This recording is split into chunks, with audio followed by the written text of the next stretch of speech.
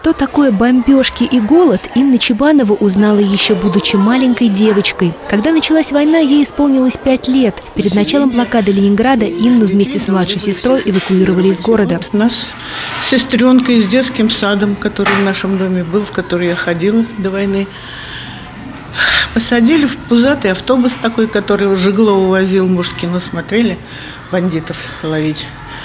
А мама стояла рядом, и слезы градом текли, и, и говорила одну только фразу «береги Надю».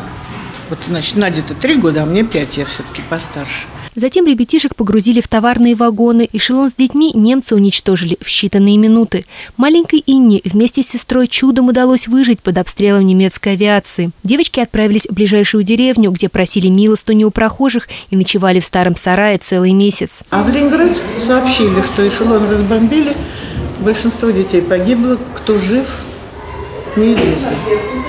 Мама наша не поверила, что мы погибли и поехала нас искать. И вот мы в очередной раз шли побираться, и вдруг видим, идет нам навстречу наша мама.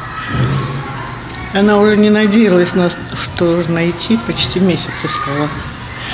И мы ей говорим, мамочка, а она нас, наверное, и не узнала.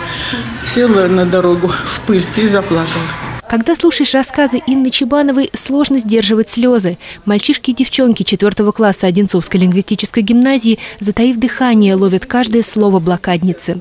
Урок мужества, прошедший при поддержке сторонников партии «Единая Россия», не оставил равнодушным никого из ребят. К встрече юные патриоты готовились заранее, оформляли учебный класс, разучивали военные песни и готовили тематические проекты. Даже испекли фронтовой хлеб по рецептам тех лет. Участие в патриотических акциях уже давно стало для этих ребят доброй традицией. Для нас э, ветераны, для нас блокадники, с которыми мы сегодня встретились, это те люди, которые именно вот эту генетическую память нам передают, эту эстафетную палочку, э, которую мы должны передать э, младшим поколениям, нашим детям, нашим ученикам.